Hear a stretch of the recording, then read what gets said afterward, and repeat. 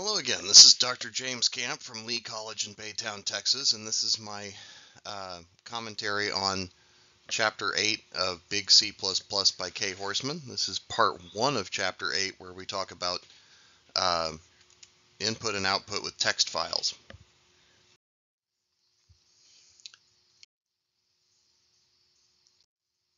Um, the C++ input-output library um, uses a concept called streams.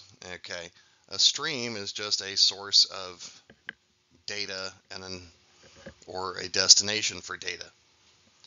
Um, the most common sources and destinations for data, other than the console I/O that we've been using so far in this class, are the files on your hard disk.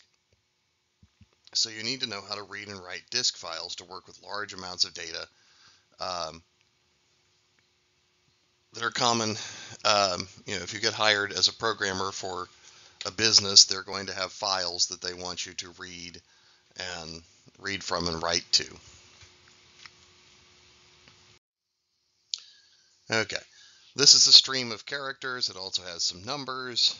Um, we could type this stream continuously from the keyboard, but it's more likely that something this long would come from a file. Um, each letter or number or symbol um, is just one ASCII character. Okay, um, and every now and then there's a new line character at the end of a line. Um,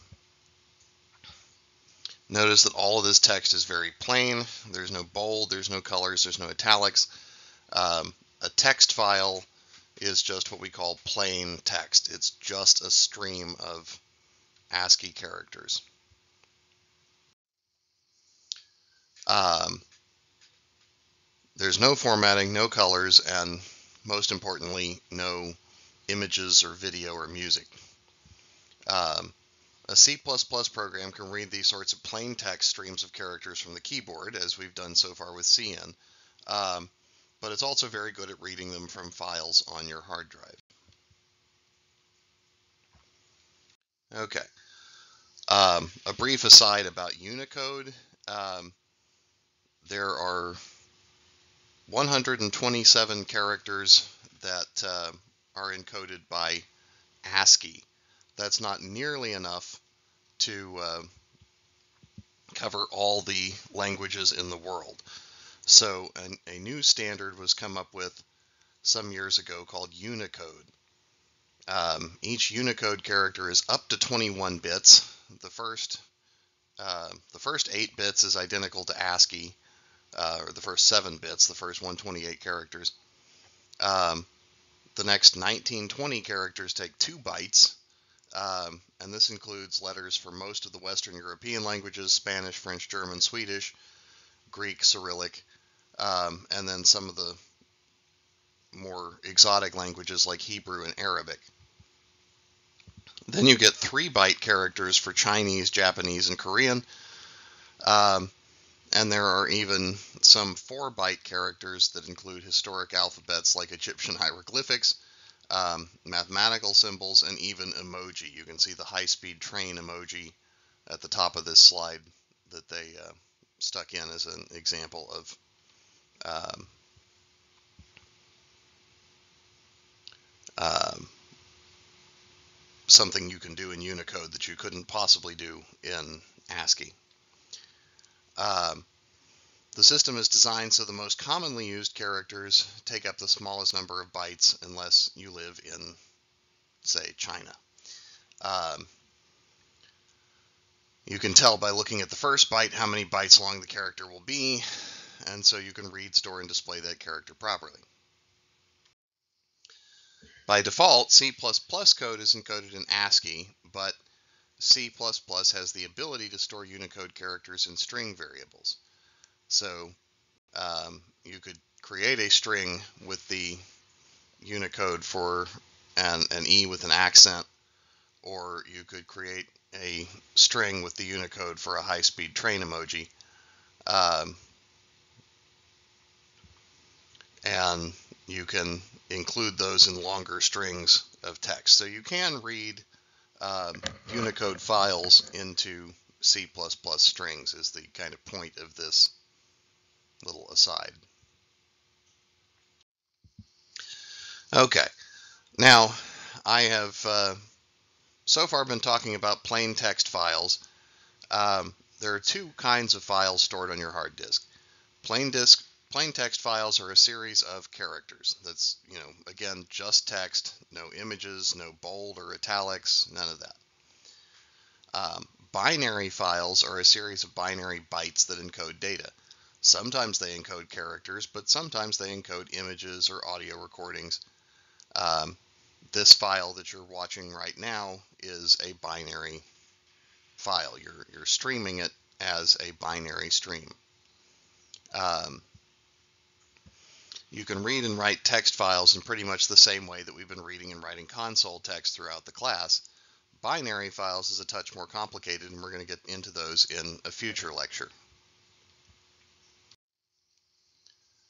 Um, to read and write files in C++, you create variables in your programs that are objects of the file stream types. Okay, we've used objects cin and cout for console output. We can create new objects of type ifstream for input file stream, ofstream for output file stream, or just fstream if you're not sure if you want to do input or output, or, or maybe you want to do both. Um, and you must pound include the fstream header to get these types. Um, before you can use a file, you need to open the file. Opening associates the variable name with the file name. After the file is open, you refer to it only by the stream variable name. You can forget the file name at that point. So, for example, um, we create an IF stream called infile, and then we call infile.open and pass it the, the file name input.text.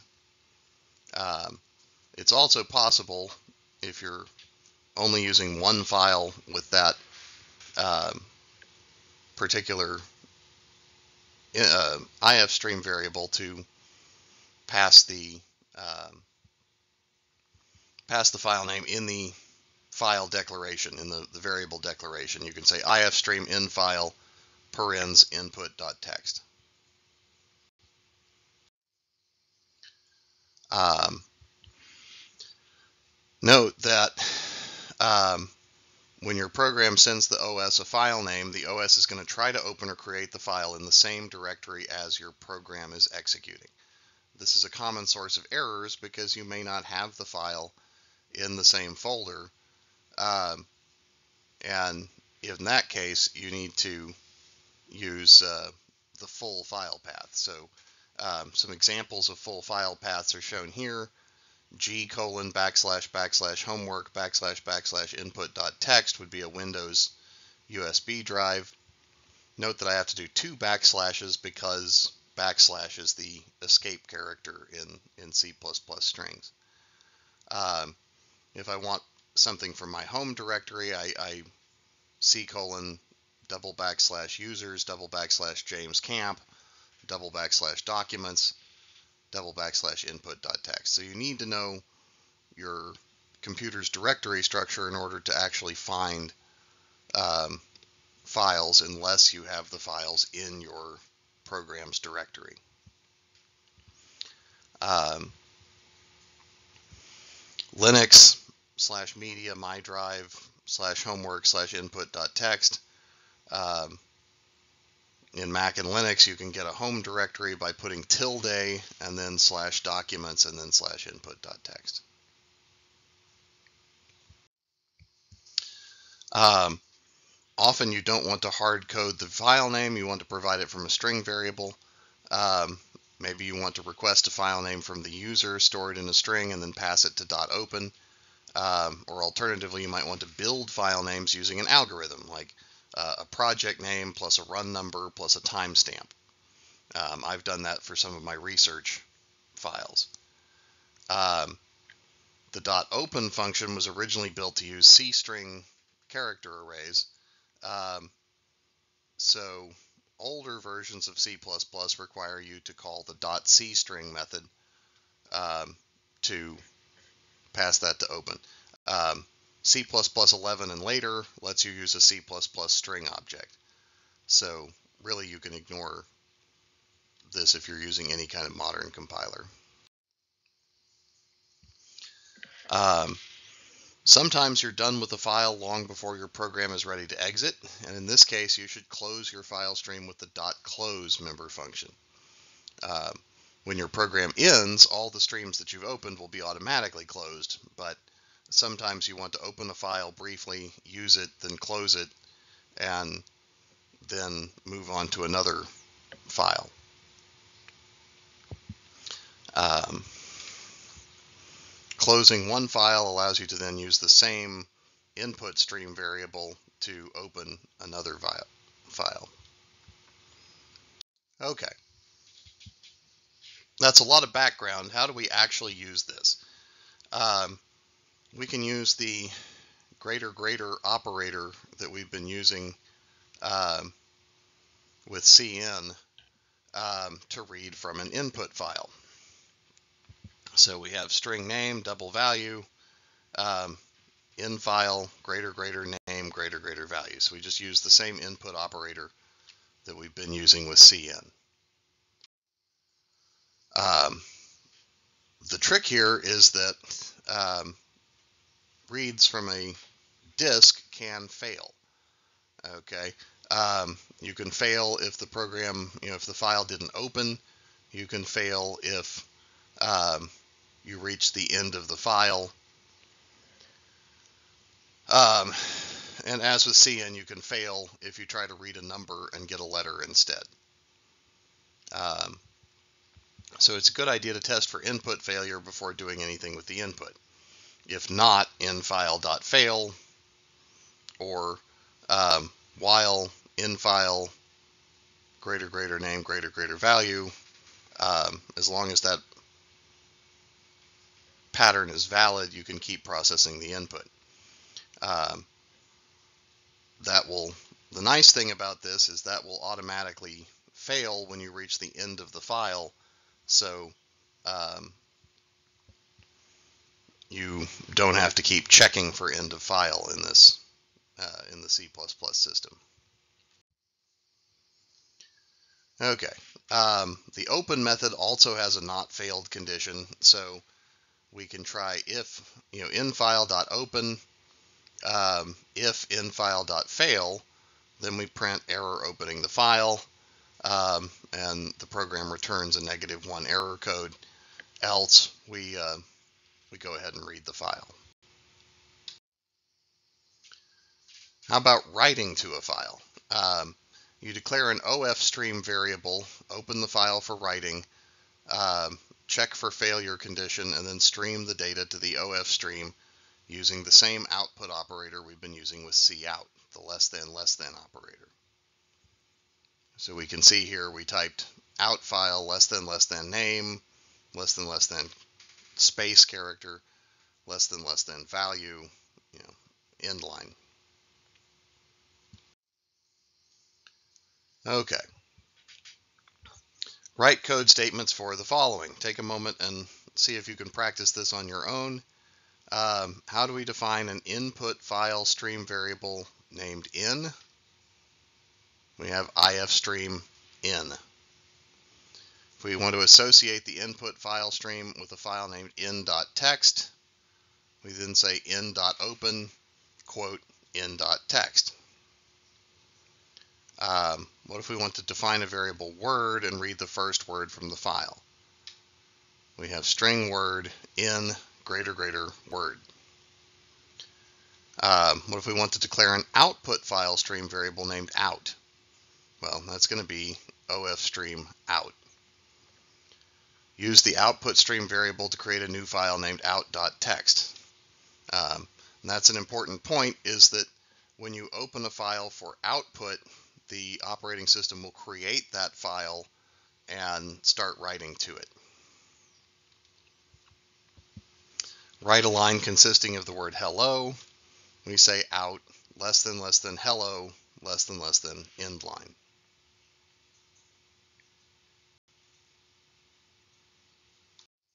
Okay. Um, what is the effect of the following statements? Um, we infile dot open and an empty string. So infile is set to fail because you can't have a file that doesn't have a name. Um, and um, reading from infile to Word would have no effect because there is no open file. Um, what's wrong with the following function? Um, ifstream in should have been read as, you know, declared as a reference parameter. Um, and um, here, this should have just been in, not cin.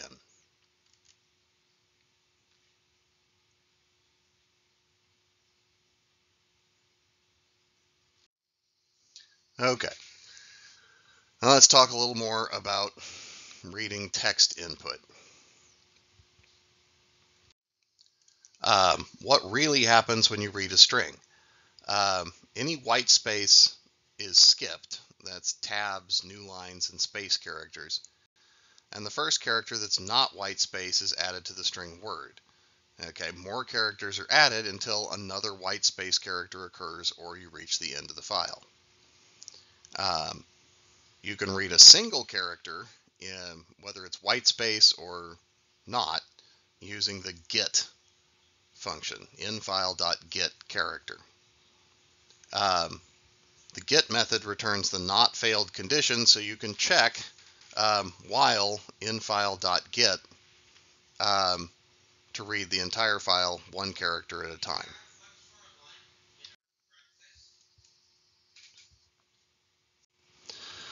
Um, one useful application for the get character uh, is uh, that you can check whether character is a digit. Okay. Um, if character is a digit, then we're ready to read a number. If not, then we want to skip past it. Um,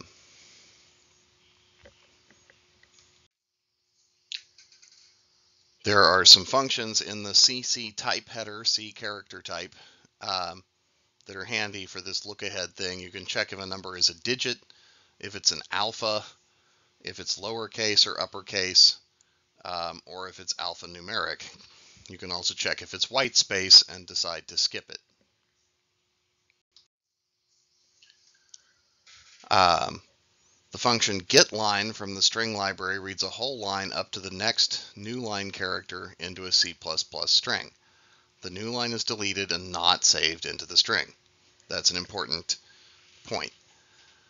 Um, so if we had string line and ifstream in file, we can call getLine in file comma line and read one line from the file at a time.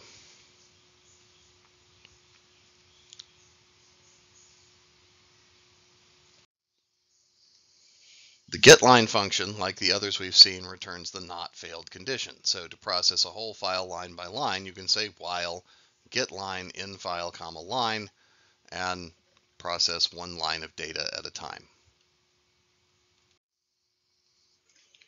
Um, so here's a data file from CIA.gov. Each line has a country name and a population.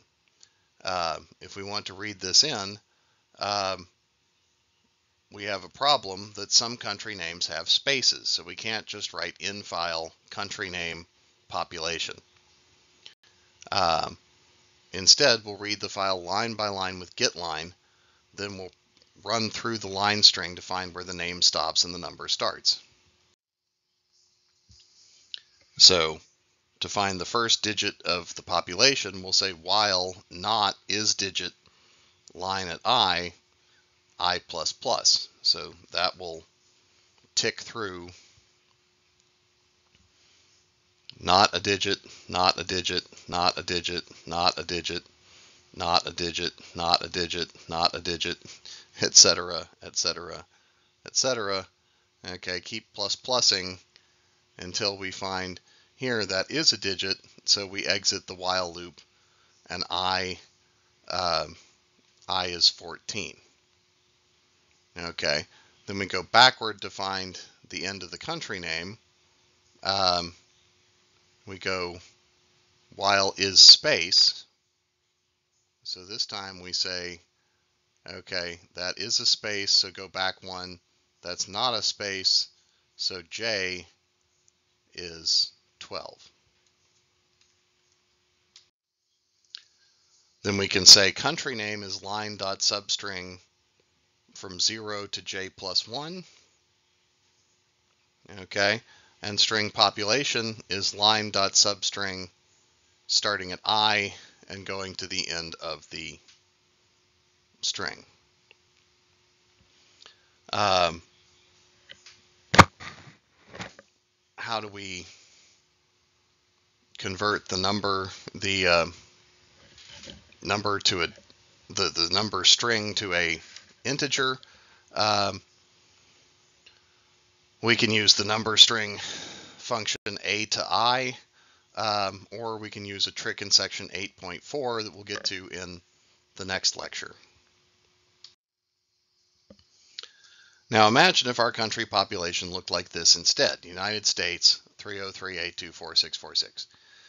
We would need to call get line on each country line, but we might want to use greater greater to read each population line as an int.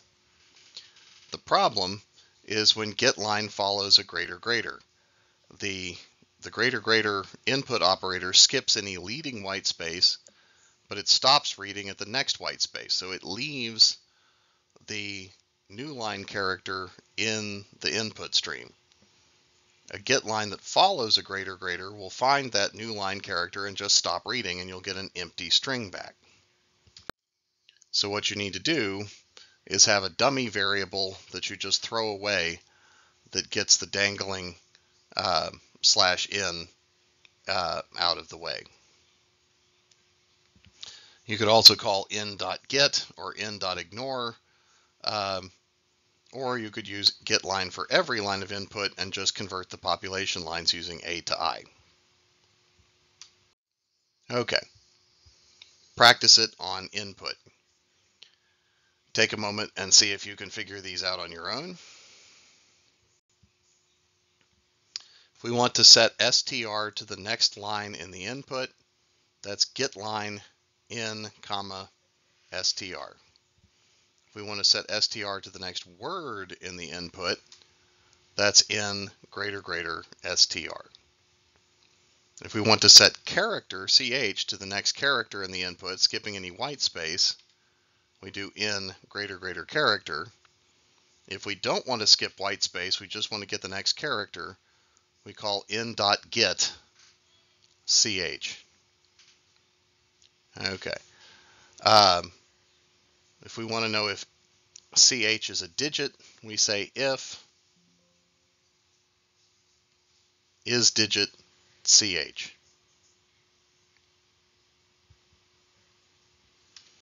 All right. Our third and final topic for this presentation is how to write text output. You use the operator less than less than to send strings and numbers to an output stream and the put function for a single character. Okay. So we create an out OF stream out file.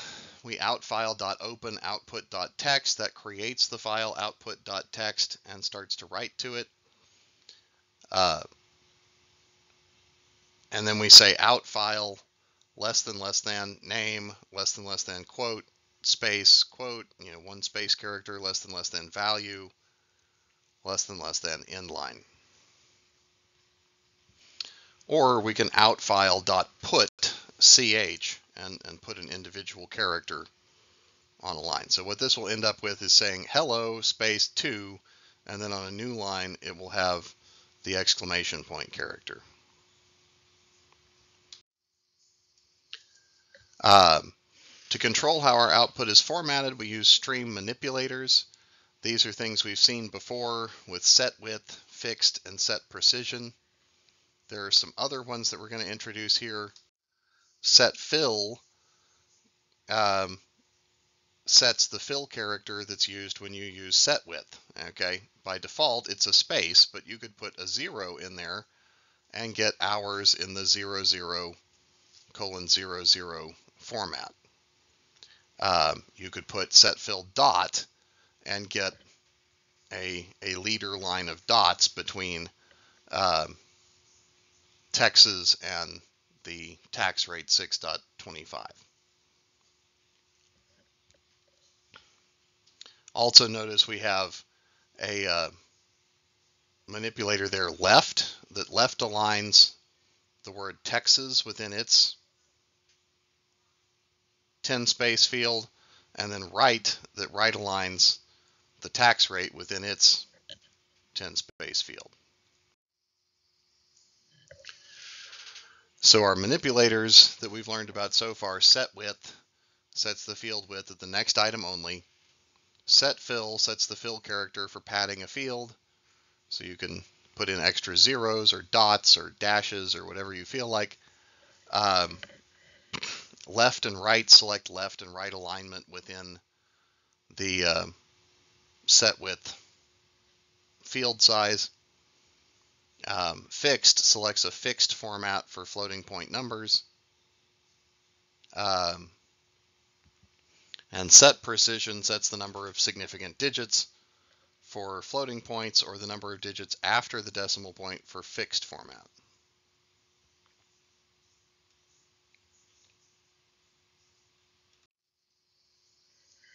Okay. So how do we produce this output.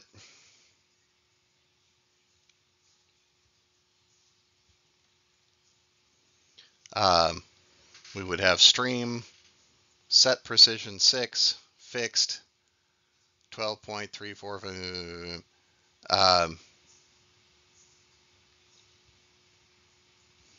space 1, 2, 3, 4, 5, 6, 7, 8, 9.0.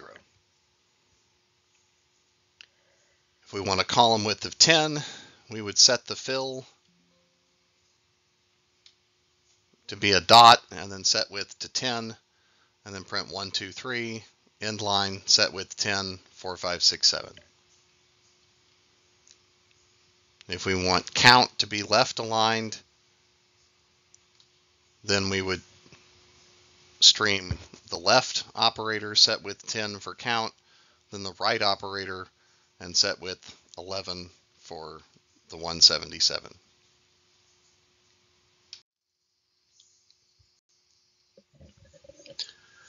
Okay, for money values, you want fixed format with two digits after the decimal point.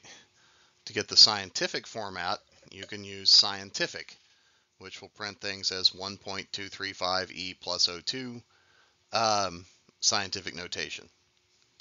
To switch back to the default floating point format, you use the default float um, manipulator. All right, now I've got some file I.O. practice for you back on the uh, Blackboard site. Um, and then we've got a second part of this presentation that will talk about string streams and uh, binary files and some other interesting topics.